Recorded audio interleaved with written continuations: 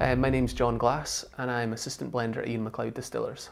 My, my job goes from standard quality control to designing blends. I, I assist my boss in deciding how we're going to produce the final blend and a lot of different activities in between.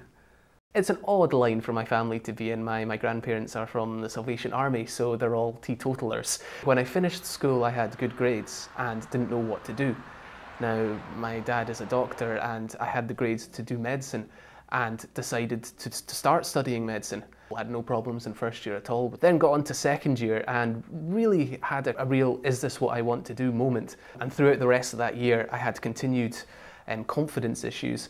And although I attended everything, every lecture, did every coursework, in the exams I crumbled. And now, now I would say it's just because I'd come to terms with something it wasn't, something that I didn't want to do. I fell into enjoyment of whisky during uh, university stages when I got into a whisky society and I realised I really enjoyed the stuff. The, there's a tourist attraction in Edinburgh called the, the Whisky Heritage Centre or Whisky Experience as it's now known, which I thought I'll get a job there for a while, I'll enjoy it, it'll be good fun, I might learn some stuff, taste some good whisky and started working there and after about a year or two I decided this really is my passion. This is an industry I really want to work in.